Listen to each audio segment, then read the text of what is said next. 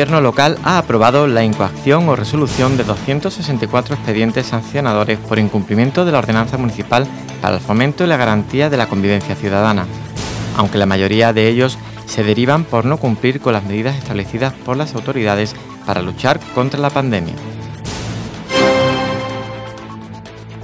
El Partido Popular se compromete a aprobar la declaración del campo de Gibraltar como zona de especial singularidad cuando asuma de nuevo la gestión del Gobierno central.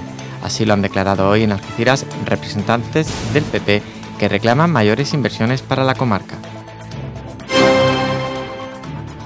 Los municipios de Algeciras, La Línea, Los Barrios y San Roque tendrán la próxima semana jornada de vacunación sin cita previa contra la COVID-19. El Servicio Andaluz de Salud busca así seguir captando a aquellas personas que por diversos motivos están aún pendientes de recibir sus correspondientes dosis. Están destinadas a personas que aún no han recibido ninguna dosis de la vacuna.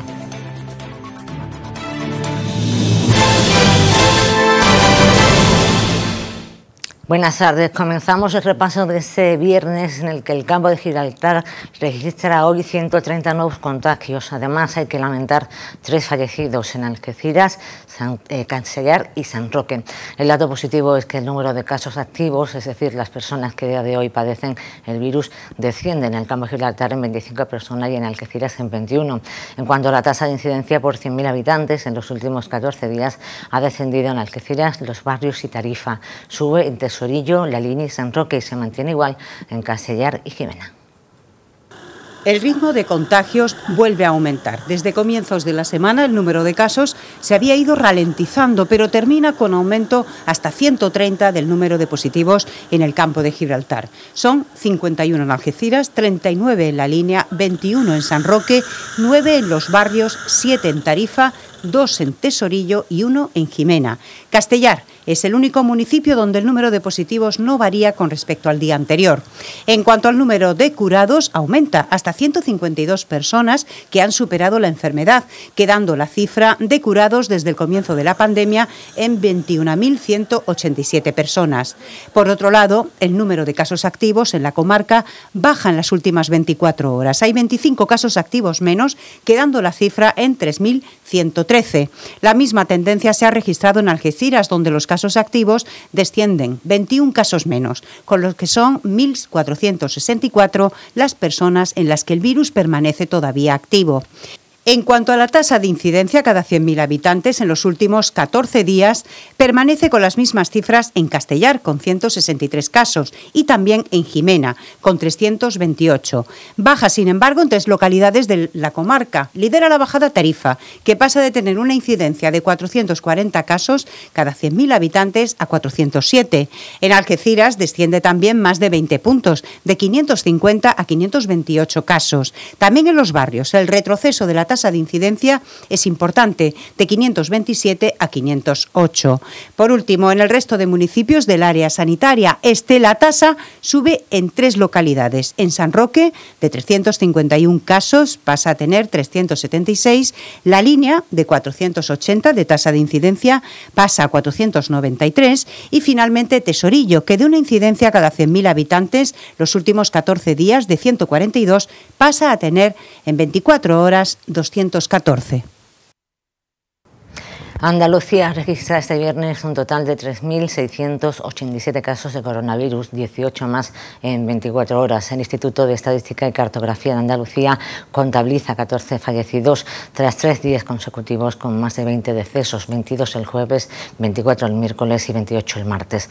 Por otro lado, la tasa de incidencia acumulada de la comunidad ha bajado por décima vez tras encadenar 33 días de subidas consecutivas y se sitúa en 510,4 por cada 100.000 habitantes en los últimos 14 días, 17 puntos menos en 24 horas y 71,3 puntos menos en una semana. Por provincia, Sevilla continúa como la que más casos suma, seguida de Málaga y Cádiz. En cuanto a los 14 fallecidos, Málaga y Cádiz han registrado cuatro muertes cada una, seguida por Córdoba con dos y Granada, Almería, Jaén y Sevilla con una en cada provincia. Huelva es la única provincia andaluza que no ha sumado decesos. Y los municipios de Alqueciras, Cádiz, Chiclana, Jerez, la línea de la Concepción, los barrios San Fernando y San Roque tendrán la próxima semana jornadas de vacunación sin cita contra la COVID-19. El Servicio Andaluz de Salud busca así seguir captando a personas que por diversos motivos están aún pendientes de recibir sus correspondientes dosis. Están destinadas a personas que aún no han recibido ninguna dosis de la vacuna. En el caso de Algeciras, la cita será el lunes 16 de agosto en el pabellón deportivo Andrés Mateo, en horario de 8 y media de la mañana a 2 de la tarde. El martes, en los barrios, la jornada será de puertas abiertas para el mismo tramo de edad. Las personas que reúnen estos requisitos pueden acudir al pabellón Samuel Aguilar de 3 a 8. Ese mismo día, en San Fernando, de 9 a 2 de la tarde y de 3 a 6, se ha previsto otra jornada de vacunación en el pabellón municipal deportivo del Parque Almirante Lauré. El miércoles en la línea está prevista otra jornada, en este caso en el Palacio de Congresos, en horario de 9 de la mañana a 2 de la tarde y de 4 a 8 de la tarde. El viernes 20 de agosto será en San Roque, en el edificio Diego Salinas de 4 a 8. Asimismo, se han previsto varias citas para jóvenes de entre 12 y 16 años, concretamente en el pabellón Vega Veguita de Jerez, el viernes 20 de agosto, de 9 a 2 de la tarde, y en el Palacio de Congresos de la Línea, el martes 17 de agosto, de 4 a 8. Paralelamente, se continúa con la administración de dosis programadas con cita previa en los diferentes centros de salud y puntos externos habilitados. La Junta de Gobierno local, reunida esta mañana de manera telemática, ha aprobado la incoación o resolución de 264 expedientes sancionadores por incumplimiento de la ordenanza municipal para el fomento y la garantía de la convivencia ciudadana, también del uso y aprovechamiento de playas, práctica del botellón, entre otras, aunque la mayoría de ellos se derivan por no cumplir con las medidas establecidas por las autoridades para luchar contra la pandemia. En ese sentido, el primer edil ha destacado que aunque nos encontramos a mediados del mes de agosto, un periodo vacacional por excelencia, el equipo de gobierno continúa trabajando siete días a la semana y hay que seguir en marcha porque, de lo contrario, se afectan a los intereses de muchos ciudadanos porque la Junta de Gobierno local, como cada viernes, se ha reunido para dar trámite a las denuncias interpuestas en la última semana por la policía local. Muchas de ellas son por practicar botellón, lo que está totalmente prohibido. Se han aprobado distintos temas, temas de personal, temas de, eh, profesionales del taxi, eh, bueno, pues distintos temas. Y otro de los temas que se han aprobado son las casi 250 sanciones administrativas que la policía local en esta semana ha interpuesto a personas que no han cumplido las normas. Algunas son del consumo del botellón y otras han sido por no guardar la sensatez de la prevención frente al coronavirus. Nosotros vamos a seguir trabajando en eh, pedir eh, precaución. Vamos a seguir dando mensajes de vacunación e insistir en ello. Vamos a colaborar, como estamos haciéndolo, con las distintas administraciones, por supuesto con el Servicio Andaluz de Salud, para dotarles de espacios, lugares y colaboración para que esa vacunación y esa asistencia pues sea lo más adecuada posible y puedan ellos cumplir con su obligación en las mejores condiciones posibles. Añade la primera autoridad municipal que el virus sigue enfermando y continúa matando, por lo que no podemos creer que porque sea verano, por muchas ganas que tengamos de disfrutar la vida, se pueda hacer la locura de creer de que no nos infectaremos.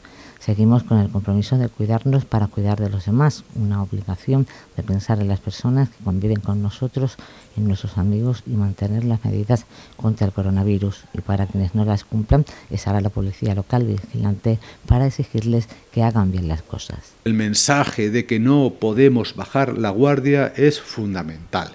El virus sigue produciendo enfermedades y sigue matando. Así que no podemos decir ni creer que porque sea verano y por muchas ganas que tengamos de disfrutar de la vida y después de estos tantos y tantos meses de confinamiento hagamos la locura de pensar que no nos contaminamos. Así que por favor, seguimos estando con un compromiso de cuidarnos y cuidar a los demás, con una obligación de pensar en las personas que conviven con nosotros, pensar en los amigos y las medidas de seguridad frente al coronavirus hay que mantenerlas. Y mientras los que no la cumplan, la policía local estará para exigirle que hagan las cosas bien. Desde el consistorio se mantiene que el objetivo fundamental de esas actuaciones no tiene nada que ver con la recaudación, sino con poner coto a comportamientos incívicos que perjudican al conjunto de la ciudadanía. Instituciones penitenciarias ha registrado esta semana tres brotes en la quinta ola de la pandemia. Uno en el centro de Huelva con 13 positivos vacunados y asintomáticos. Otro en el centro penitenciario de Puerto 3 con 22 casos asintomáticos y con síntomas leves. Y un último en Algeciras con 97 positivos, de los que dos han tenido que ser hospitalizados por patologías previas a la COVID. Según los datos registrados desde el jueves pasado, se suman un total de 132 casos positivos en cárceles andaluzas. Como medida preventiva se han suspendido las visitas especiales en las cárceles de toda la comunidad. Aquellas que se realizan vis a vis con las visitas sin un cristal que proteja, además de las ordinarias, aquellas que se realizan con un cristal protector en las cárceles afectadas por los brotes. Del mismo modo, las medidas de seguridad de la COVID-19 contemplan la suspensión de los permisos de salida para la prisión, la puesta en cuarentena, los positivos en módulos de aislamiento. Asimismo, se realizan cribados masivos en varios módulos de las prisiones andaluzas en beneficio de mantener y garantizar la seguridad en el centro. Por otra parte, instituciones penitenciarias ha asegurado que solo entre el 2 y el 3% de los prisioneros, unos 500 aproximadamente, no se ha vacunado, de un total de 47.000 que se registran en las cárceles de España. Este mismo porcentaje se aplica a los trabajadores de los centros penitenciarios. De esta forma, el brote de contagio sucedido en Huelva se ha saldado con 13 personas asintomáticas o que presentan síntomas leves y todos están bajo control sanitario. Lo mismo ha ocurrido en el centro penitenciario Puerto 3 y en Algeciras, donde todos los contagiados, salvo dos usuarios con patologías previas, han mostrado asintomatía o síntomas leves.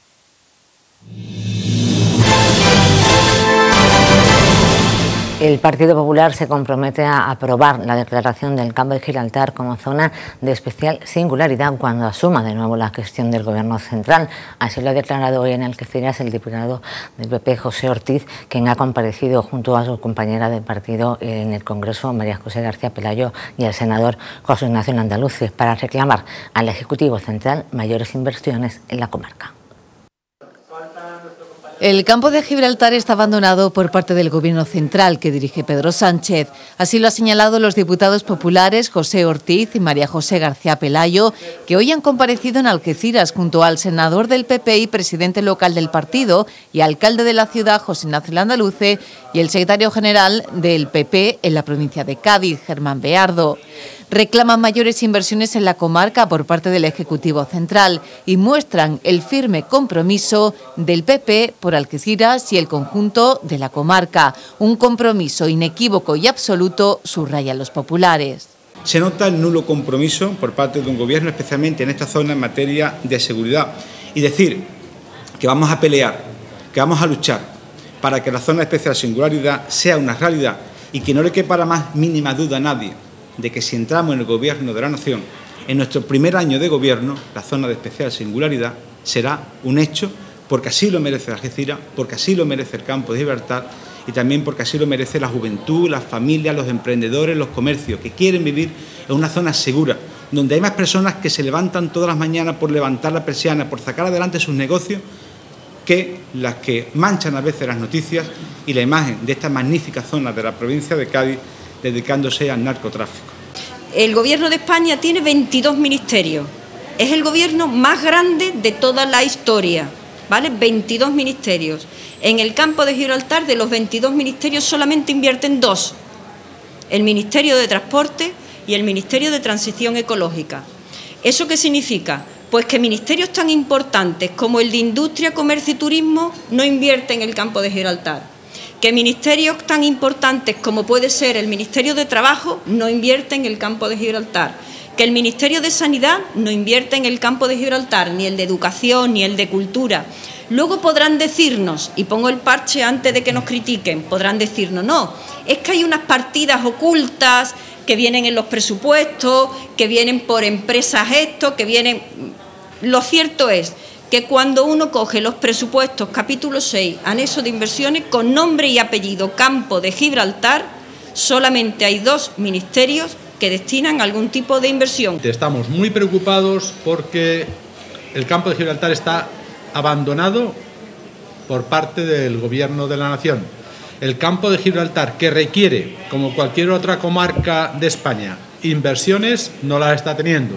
Y aquí tenemos actuaciones que son perjudiciales, como son, por supuesto, la pandemia, como son las relaciones deterioradas con Marruecos y tiene una repercusión en, nuestro puerto y en la actividad portuaria y por supuesto el Brexit, que sigue siendo algo que tiene muchos enunciados, pero absolutamente nada después que rellene la realidad de esos enunciados. ¿Qué necesita Algeciras, aparte de, seguir manteniendo uno de los mejores alcaldes de España? Pues que la Junta de Andalucía, con su ayuda, también eh, está contribuyendo. Pues además, que venga la ministra Montero, que venga cualquier otro de los veintitantos ministros que tiene el gobierno de Pedro Sánchez a ofrecer soluciones y no a, en este caso, a pasar el verano. Necesitamos que se hagan infraestructuras que los diputados nacionales llevan reclamando años. Necesitamos, evidentemente, que haya eh, bajadas de impuestos, que no se siga subiendo la luz, que no se siga subiendo la gasolina, en definitiva, que las familias no vean restringida su eh, potencialidad económica mensual por eh, el desastre de gobierno de Pedro Sánchez. Según explican desde el PP, esa falta de inversiones en materia de seguridad por parte de la Administración Central provoca que algunas zonas del campo de Gibraltar se queden sin la vigilancia necesaria, sin patrullas de la Guardia Civil durante esta época estival. Una falta de personal que afecta a municipios como Castellar, Jimena o San Roque.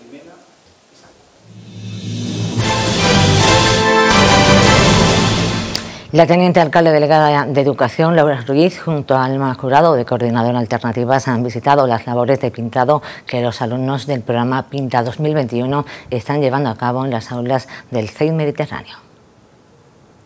Este programa, que está subvencionado por la Consejería de Igualdad, Políticas Sociales y Conciliación de la Junta de Andalucía y desarrolla la Coordinadora Alternativas, tiene como objetivo integrar a personas que se encuentran en situación de vulnerabilidad o en riesgo de exclusión social en el mercado laboral, a través de formación teórica y práctica. La delegada ha explicado que ha querido agradecer a la Junta de Andalucía que haya financiado este programa y alternativas con Paco Mena a la cabeza por colaborar con las labores de mantenimiento en este centro escolar, que vienen a complementar las obras que se están llevando a cabo en este centro educativo de cara al inicio del nuevo curso escolar. Esto es una muestra más de que cuando se trabaja en equipo, pues las cosas salen muchísimo mejor y de aquí pues nuestro agradecimiento desde el Ayuntamiento de Algeciras, tanto a la Junta de Andalucía, a la Consejería de Igualdad, como a la coordinadora alternativa, eh, a su representante a Paco Mena, porque una vez más pues eh, vamos a sacar adelante, estamos sacando adelante gracias a ello el programa Pinta este año 2021 y en esta ocasión nos encontramos en el Colegio Mediterráneo con 15 alumnos que están actualmente pues, realizando su formación práctica tras haber eh, ya pasado por su formación teórica anteriormente y el objetivo principal de este programa pues, es eh, capacitar eh, teórica y prácticamente en pintura, en formación de pintura, a alumnos con riesgo de exclusión social. Los 15 alumnos de este programa están actualmente realizando la capacitación de formación práctica de pintura en el CEIP Mediterráneo. Por eso, desde el Ayuntamiento han cedido los materiales para la realización de estos trabajos en todas las aulas del centro en el que estamos haciendo unas importantes obras de inversión propia municipal de rehabilitación y revestimiento de paramentos de fachadas exteriores, eh, tanto del edificio de infantil como el de primaria. Como he dicho anteriormente, es una inversión propia del ayuntamiento de unos 67.000 euros, atendiendo al compromiso del alcalde de pintar al menos dos centros educativos por curso escolar. La empresa adjudicataria se ha comprometido a tener todos los trabajos listos al comienzo del curso escolar y lógicamente pues estos trabajos se complementan con los de la brigada municipal que durante el periodo estival, como hacen en el resto de centros educativos de Algeciras, pues se dedican a repasar eh, el interior de cada centro educativo eh, de cara a ponerlo a punto con las pequeñas deficiencias que pueda haber y seguimos hablando de colegios porque la delegada de Educación, Laura Ruiz, ha vuelto a reiterar que las obras en el Colegio Campo de Giraltar comenzarán en la segunda quincena de agosto. Como bien saben profesores, padres y vecinos, aclaran que su trabajo lo hacen con transparencia, sin ocultismo y que el Gobierno va de la mano de las diferentes administraciones para conseguir lo que la barriada merece y que ha sido olvidada durante décadas mensaje de tranquilidad y confianza a los padres del colegio de nuestro querido barrio de La Bajadilla, el CEIP Campo de Gibraltar, eh, poniendo una vez más en su conocimiento que eh, la dirección del centro educativo mencionado está al tanto de todos y cada uno de los movimientos realizados para el inminente comienzo de las obras eh, a las que se comprometió este equipo de gobierno con nuestro alcalde José Ignacio Landaluce a la cabeza y que tal como quedamos en la última reunión mantenida hace escasas semanas con las asociaciones de vecinos, comenzarán en la segunda quincena de agosto. Por su parte, el Grupo Municipal Adelante Algeciras ha denunciado un nuevo incumplimiento del equipo de gobierno con la comunidad educativa del Colegio Campo de Giraltar.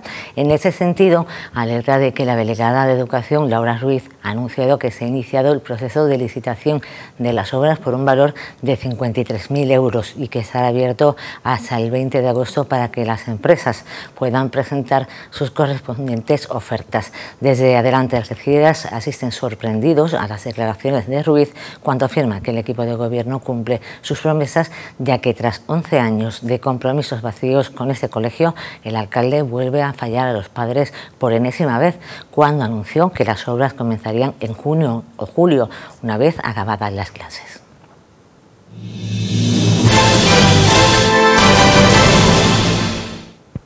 Estanda Andalucía Exportaciones e, Importaciones Extranjeras ha cumplido su objetivo anual de acercarse a la internacionalización de 1.400 empresas andaluzas con su programa Red Andalucía. Es un proyecto lanzado el verano pasado que tiene como objetivo identificar el nuevo potencial y exportador para las importaciones, incorporando empresas y haciendo que las que ya exportan lo hagan con regularidad. En el proyecto se ha contado con la colaboración de las cámaras de comercio de las distintas provincias andaluzas.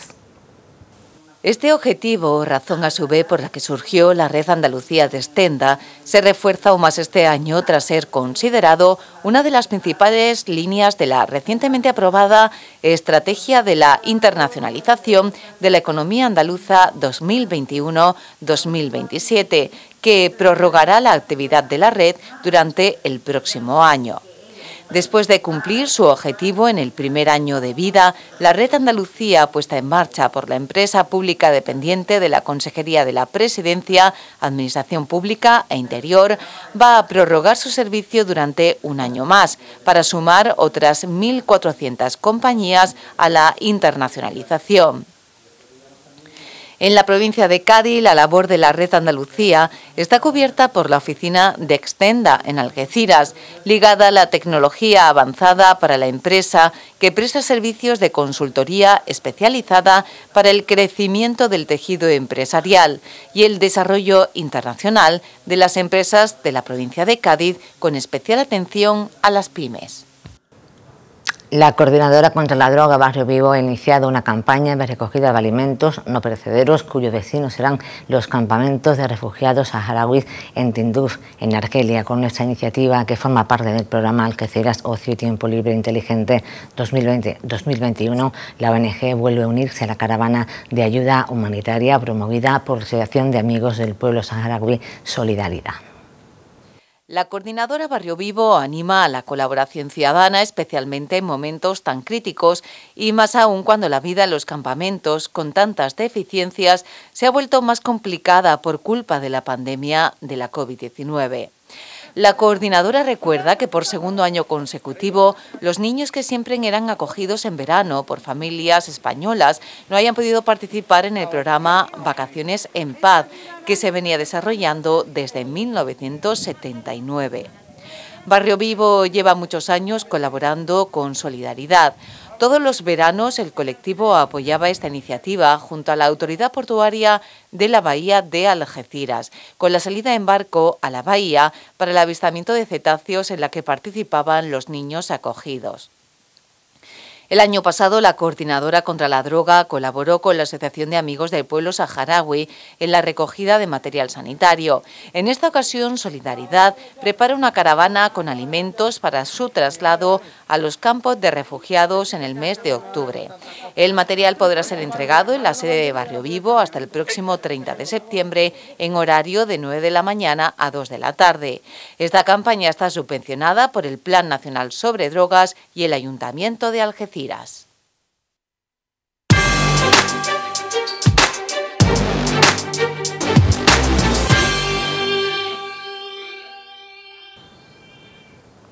El pivote Gusó Casal se incorpora a la primera plantilla del balonmano Ciudad de Algeciras para afrontar la temporada en la Primera División Nacional.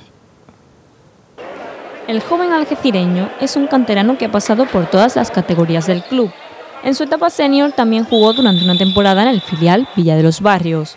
Y fue en la pasada campaña cuando empezó a contar minutos en las filas del primer equipo, ayudando así a sus compañeros con la calidad de su aprendizaje. Open Udea Cantera es el nuevo movimiento que está organizando el equipo de baloncesto algecireño para atraer jóvenes fichajes a sus filas.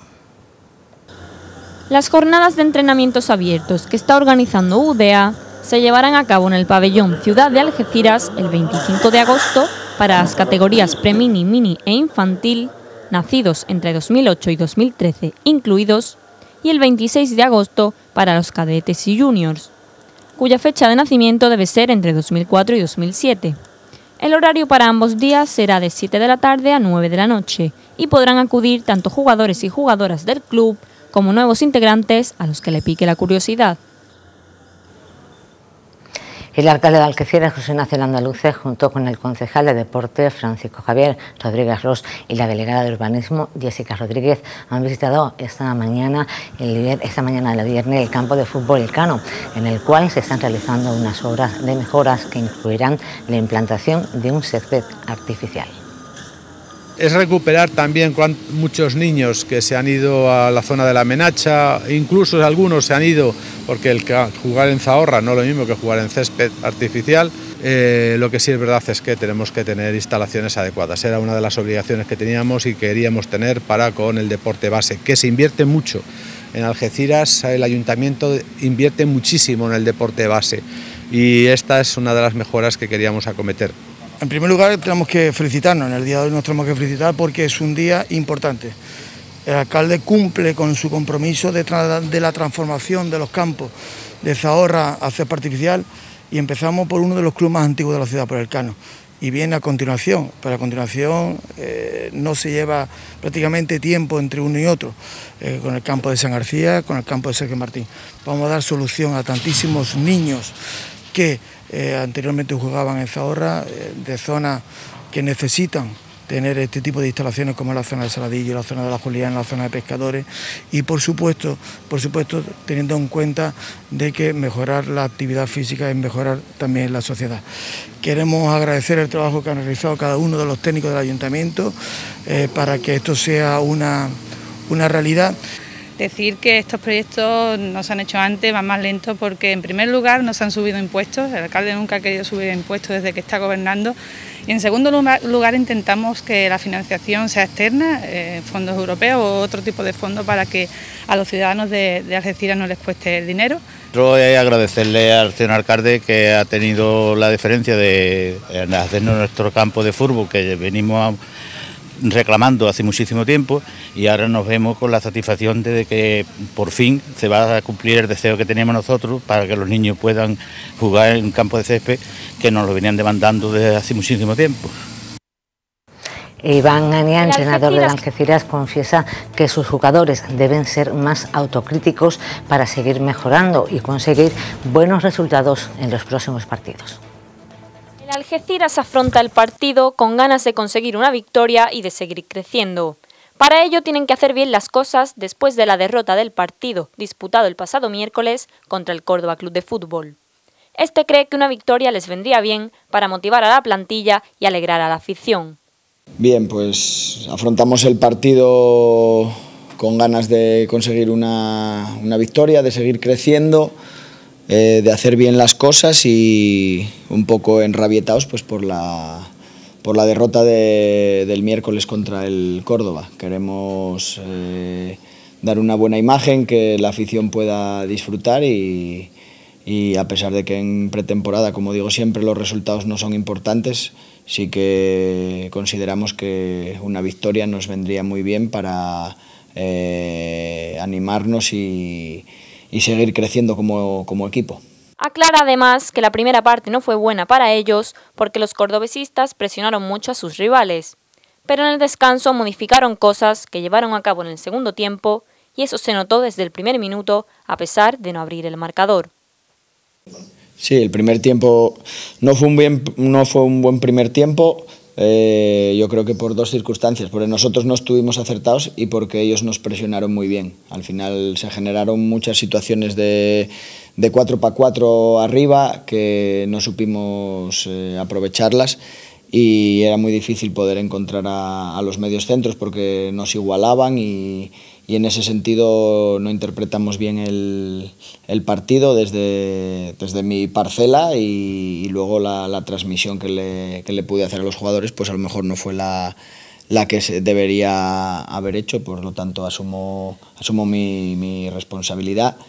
Y después la segunda parte, evidentemente al descanso modificamos cosas y la segunda parte ya desde el principio se vio otro equipo y se nos puso mucho más favorable cuando en el minuto 10 pues ellos se quedan con un, con un, jugador menos. A partir de ahí pudimos empatar el partido, pudimos ganarlo y me atrevería a decir que casi generamos las ocasiones hasta para, para haber hecho una goleada, pero no fue así, no fuimos capaces de abrir el marcador y al final te vas con una mala sensación por, por la derrota, pero eh, en pretemporada lo que menos importa son los resultados, tanto los positivos como los negativos, pero sí que tenemos que hacer autocrítica y, saber que en ciertos aspectos debemos de mejorar. Y eso es todo de momento. Gracias como siempre por habernos acompañado y que pasen un feliz fin de semana.